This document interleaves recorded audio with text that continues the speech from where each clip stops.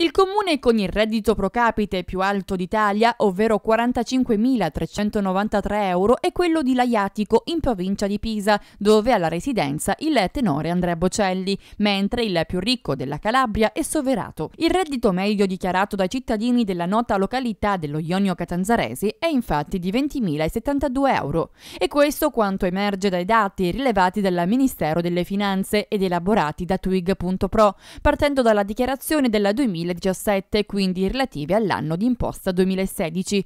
Tra le calabresi Soverato, che si piazza più o meno a metà classifica su scala nazionale, è seguita da Rende e Cosenza, con la città Bruzia che risulta la più ricca tra i capoluoghi di provincia.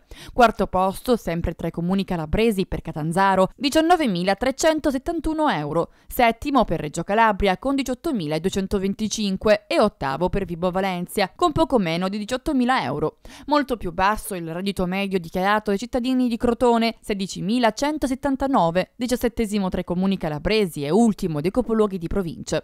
Solo venticinquesimo posto tra i comuni calabresi infine per la Mezzia Terme, che nonostante sia il quarto centro della Calabria ha un reddito medio pro capite di 15.529 euro.